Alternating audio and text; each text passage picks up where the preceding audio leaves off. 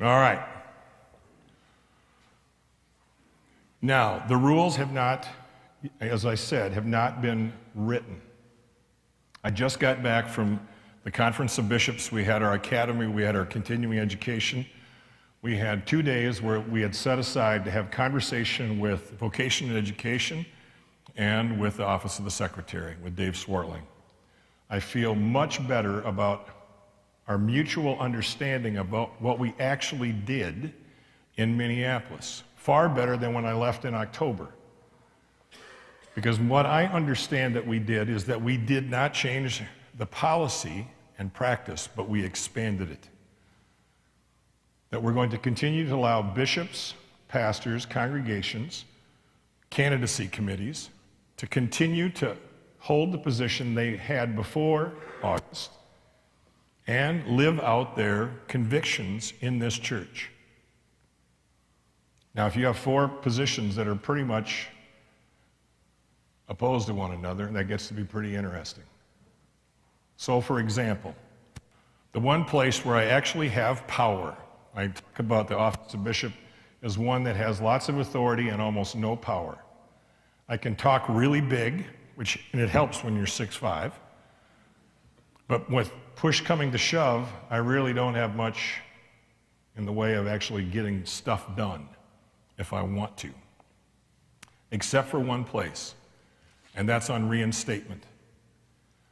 Which means is that if a pastor or a rostered leader has gone off the roster of the ELCA, they have to wait five years before they can reapply, and then they have to make application to the candidacy committee, and then they also have to come and see me. And if I decide no, that they cannot come back on the roster of this church, my no is final. They cannot appeal it to the Synod Council. They can't appeal it to the Synod Assembly. They can't go to the Church Council, the church-wide council. My no is final. And that, that has been true, and I believe it will continue to be true as these new rules are written.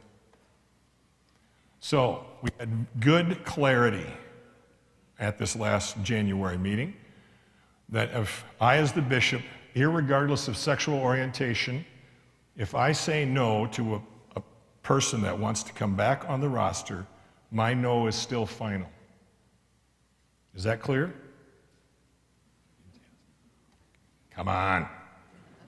Okay. Now, the rule change, though, would be that under the new rule, and it's not done yet, but I think this is what it's going to look like. If I would only say no because I believe that homosexual behavior and this person wants to either be in a relationship or is in a relationship, if the only reason that I would say no is because I personally cannot support that, but I believe, other than that, the person has the capability and the gifts needed to serve this church. Then, with the approval of the candidacy committee and with the Synod Council of South Dakota, we could transfer that person to a synod where two things could happen. You need to hear both of them. They would have to do the same thing. Their candidacy committee, their synod council, and their bishop would have to say yes in receiving them.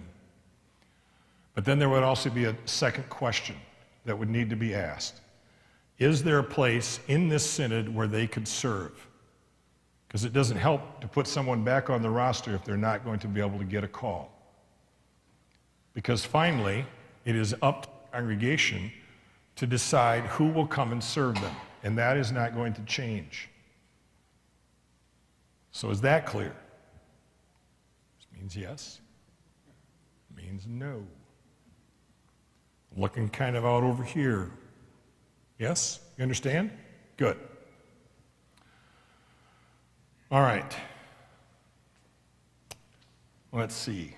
There was something else. Oh, one other place that there will be some flexibility is in candidacy. We will need to poll our people that serve on our candidacy committee. And we would need to be clear about two things. First and foremost, that if a person would come from our South Dakota Synod that would like to serve the church, they make application, we would go through the interview process, all of that. The question that we've been asking now for more than 10 years of our candidacy committee is do you want this person to have them be your pastor? Would you be willing for this person to serve as your pastor or rostered leader? The question used to be when we first started this church, could this person serve anywhere in the church? And guess what? One could always imagine where they might be able to serve, correct? Well, that didn't work real well. And we found that the second question, or the one I talked about, would you want them to be your pastor or rostered leader, is a much better question. So, first and foremost, would you want them? And secondly, could they serve in this synod? That would be the second question one would need to ask. Because right now, no matter where they get placed in the church, if they don't get a call in one year, they come back to their synod of origin. So even if someone from South Dakota got placed, say, in Texas, if after a year they can't get a call in Texas, they come back and they're our responsibility. Is that clear? All right. So we would need to be clear up front with a candidate if we have a candidacy committee that would either because of personal belief or because of their understanding of this synod would need to say to a candidate, you need to go somewhere else. And there would be some provision uh, that would be able to make that happen so that they could be assigned to a synod that would, one, be able to look after them during the educational process, and finally, be able to receive them and have them be able to work.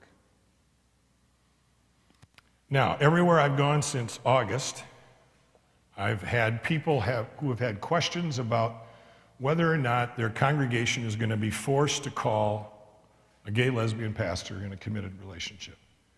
And for now about five months, I've been saying no, but everywhere I go, almost the first question I get is, Are we going to be forced? So the answer is, You will not be forced to call anyone. And then someone always, always immediately asks, Isn't there a federal rule that says you cannot discriminate on gender, race, sexual orientation? And the answer is yes, there is a federal law. So you need to hear this, especially if you're council president. If you're hiring a secretary or a custodian and you ask them about their sexual orientation and you do not hire them because of the answer they give, you're in big trouble. You cannot ask a custodian or a secretary that question. They maintain those rights under the federal statutes. But guess what? If you're on the roster of this church or any other church, we relinquish that protection. To go onto the roster of this church, we give that up. In other words, we've said we can be discriminated against.